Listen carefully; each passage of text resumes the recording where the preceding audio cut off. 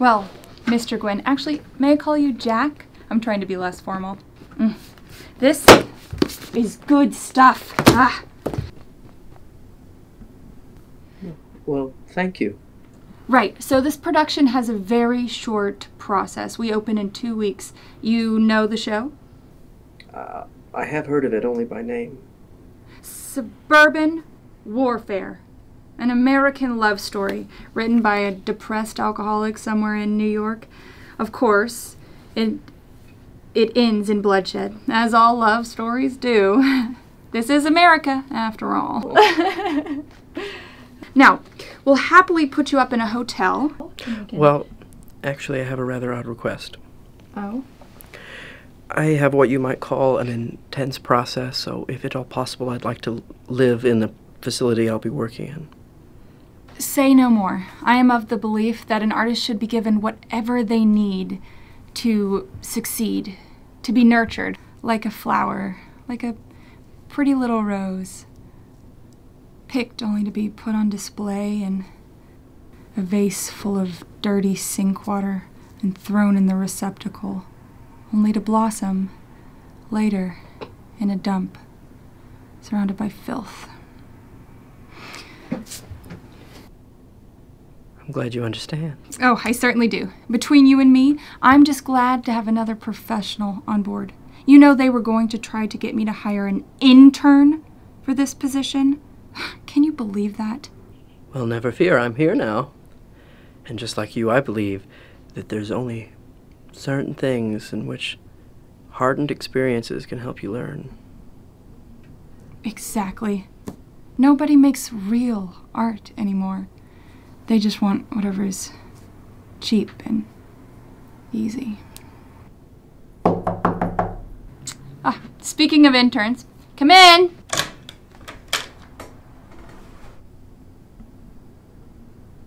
Jack, I'd like you to meet Eleanor, or go by Ellie, is that right? Either's fine. I'm really excited to meet you, Mr. Gwyn. I'm a big fan. Don't growl, dear. It's unbecoming. Anyway, Ellie will be your assistant for this production. She'll be there to help you with whatever you need, so please take her with you wherever you go. While that's very kind of you, I don't think it'll be necessary. Jack, I insist. Take her. She's good for a laugh. You can teach her some of that experience we were talking about.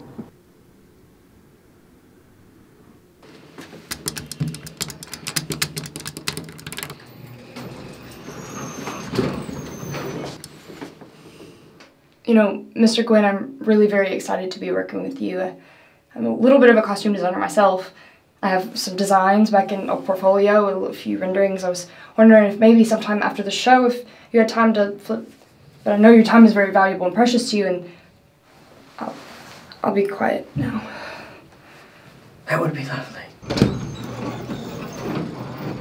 Third floor, going up.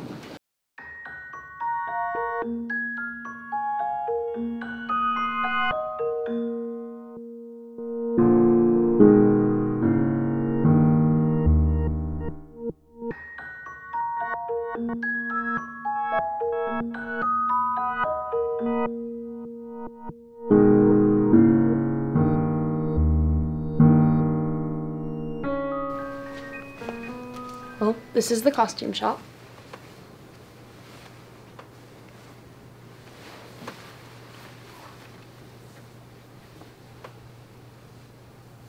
Is there anything you need, Mr. Gwyn? No.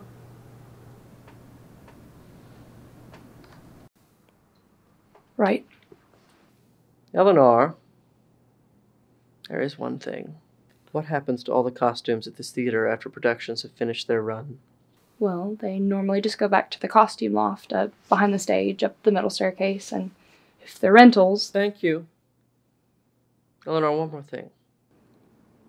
I'm a professional. I've worked in this industry for many, many years. And in that time, I've developed a, my own process for designing my costumes. I am not to be disturbed for any reason whatsoever. Understood? of course. I feel like you still don't understand. That includes you. You may retrieve measurements from the cast, but other than that, I will have no other use for you. And I am not to be disturbed for the next two weeks. Yes, sir. You may leave now.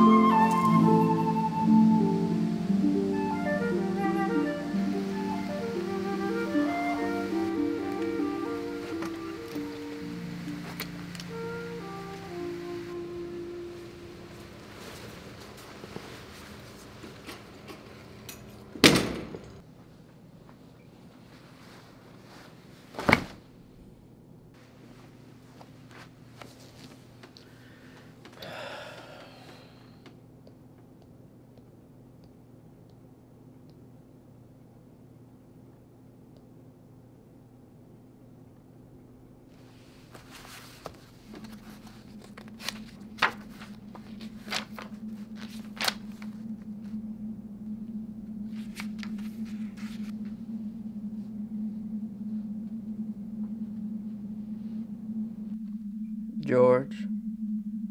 George, at you? Yeah. It's two in the morning, George. I know. Come to bed.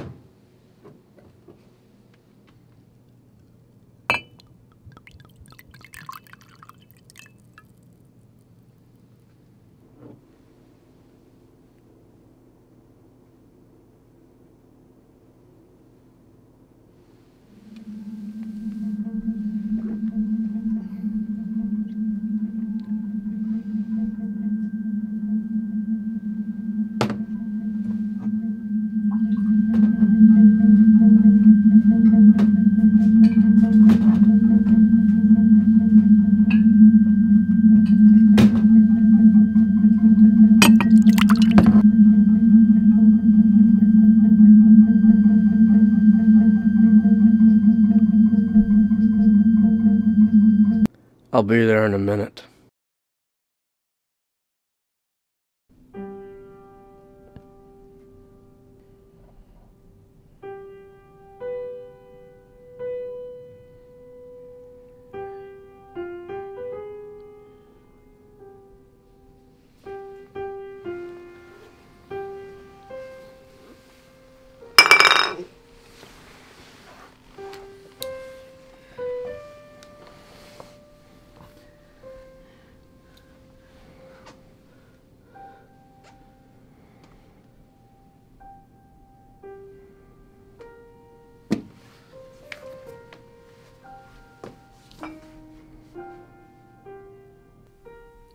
Get up, George.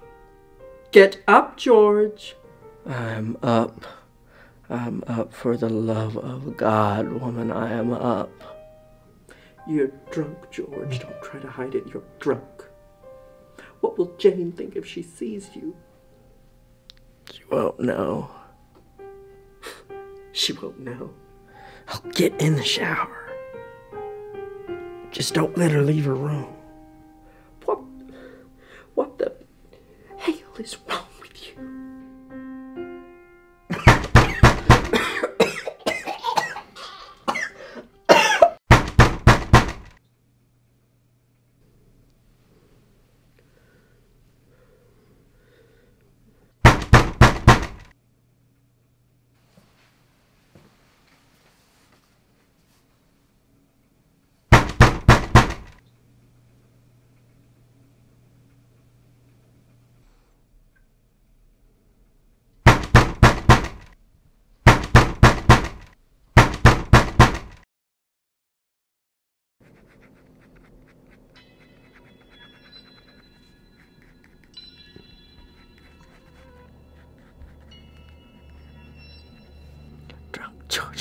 get drunk, George. Well, I can get drunk too, George. How would you like that? How would you still like me if I was drunk, drunk like you, George?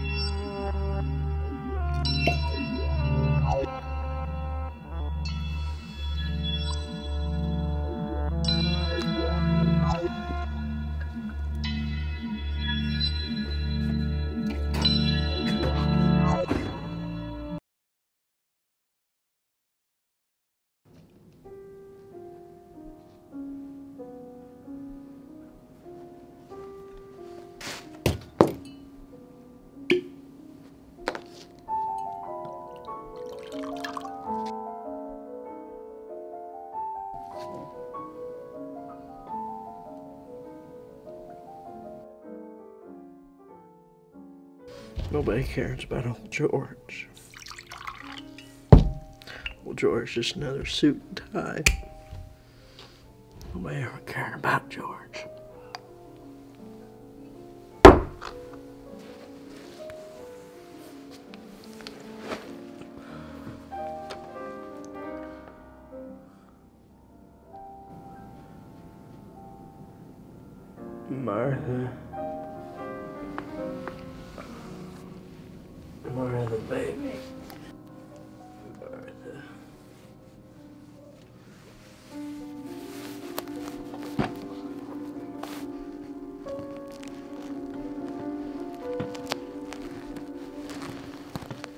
Martha, baby. Martha. Let me hold you.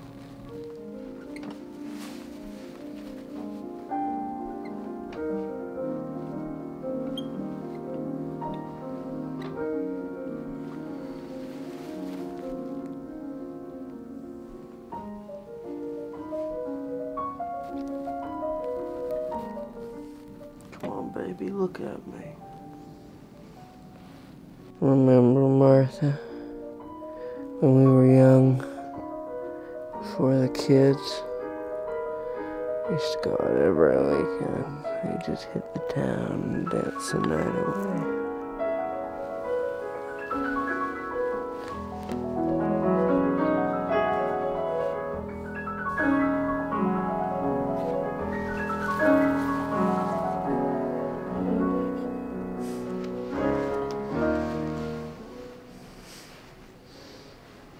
I remember, George. It all seems so long ago.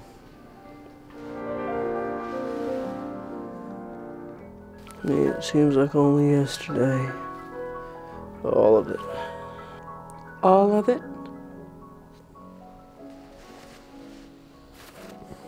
It was all so beautiful. Along came the kids. First Jane, and Tucker.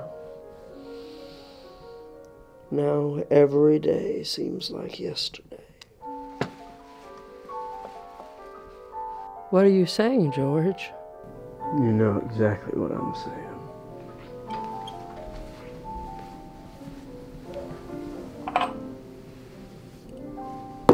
You know, as well as I do, things haven't been picture perfect since we had the kids.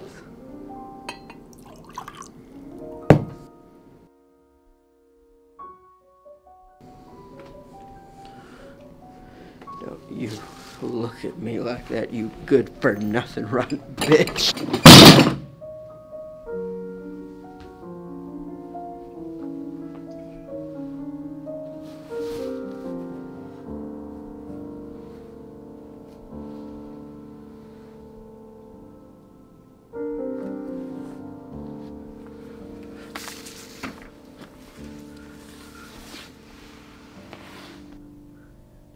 Daddy, what?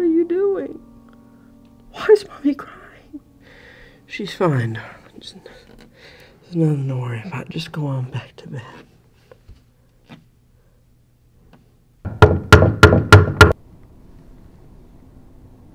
Mr. Gwynn?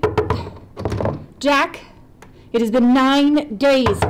Nine days since I've seen a single design. Now, I hired you because I thought you were up to the challenge, but clearly I could have been mistaken. Mr. Gwynn?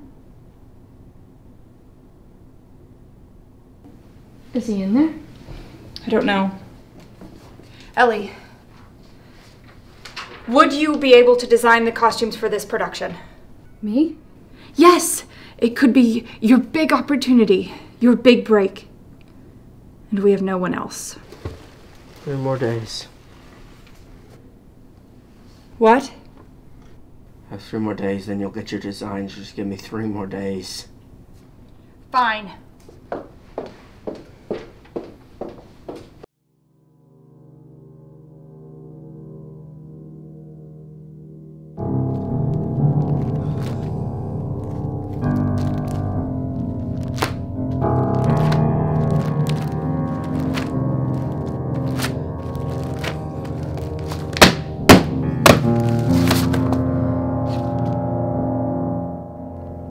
Daddy?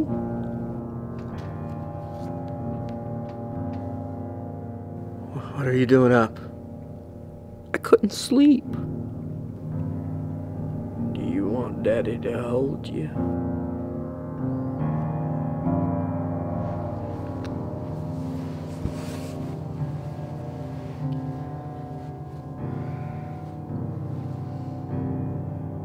Tell me a story?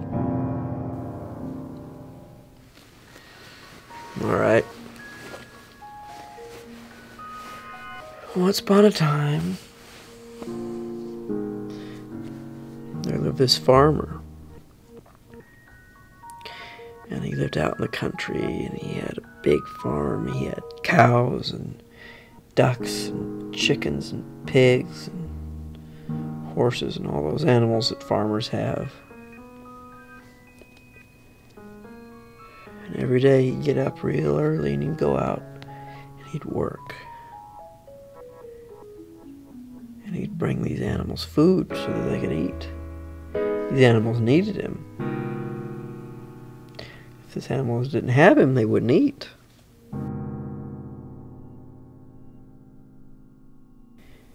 He didn't think the animals cared much about him. Didn't, didn't seem to. All they seemed to care about was surviving. That's all an animal can care about. Is surviving.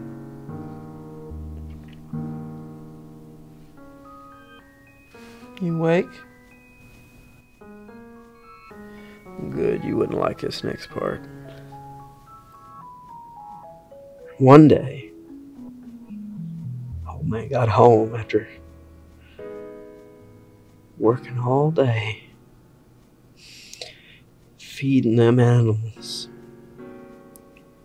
The old man realized these animals are never going to appreciate him because they were animals. Dumb, stupid, senseless animals. So he went upstairs, went to his hall closet. He pulled out his gun. Went down the hill where the animals lived. And he shot them. He shot all them animals. And all his problems went away. That's right. They all went away. Jack, where are my designs? Give me the end of the day. Stop dicking me around! I want a design right now. That's all, Jack. Just present one design, just one. Ah, You can't. And I know you can't. That's the sad part. I never should have hired you. You're fired, Mr. Gwynn. what? fired. I want you out of this theater. Gone. What about the show? What about the costume? Well, I'll get my costumes. Just not from you. From her? Don't you turn your eyes from me. You don't get to fuck me and then turn your eyes from me. Have 14 years of experience in this industry, and what do you have? I'll tell you what you have. You have shit all! You're just an intern, so step back into line, you little shit. Jack! Don't jack me. Jack gone. I'm trying to put on a show. But clearly, all you're interested in is wasting my time. Pack your things. Get out. You have until the end of the day.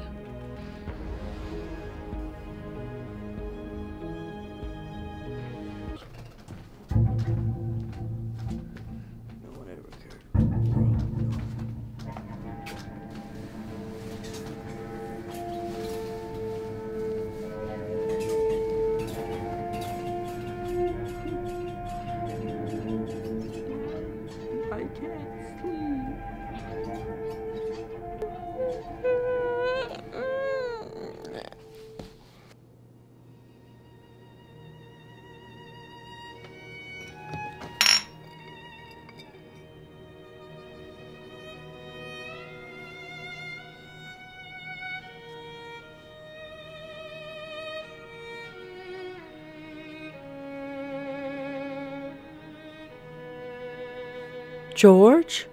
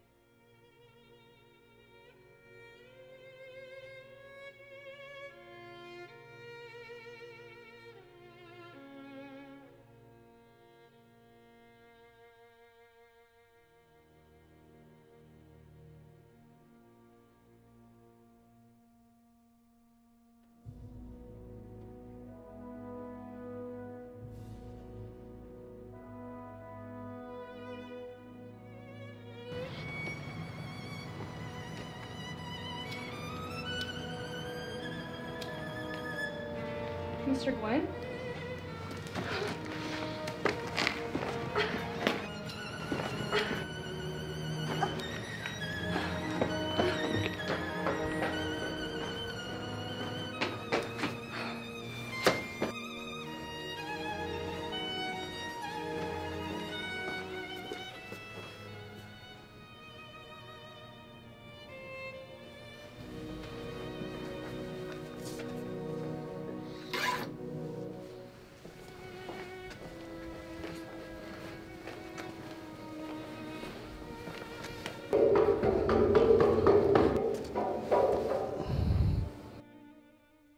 Come back.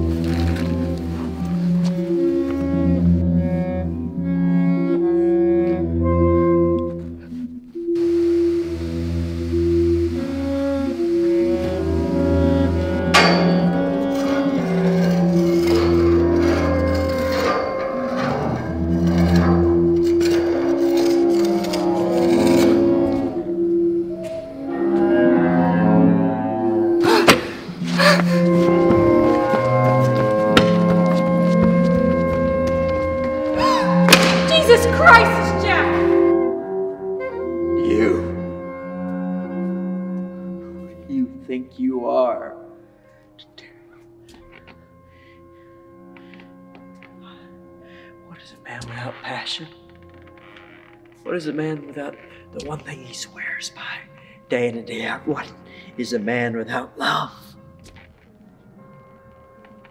Answer me! You who would tear me away from the very thing I was born to create. If you found me hanging above this stage tomorrow, would you mourn or would you scorn the very fabric of my being? I am not some man to be stepped on, stepped over, or stepped around. I am a man you look at when I'm talking to you, so look at me! I am not some old piece of fabric that can be ripped and ripped and stitched back up again. I am a man nothing more than a man with pa- with passion, and without it, I am nothing.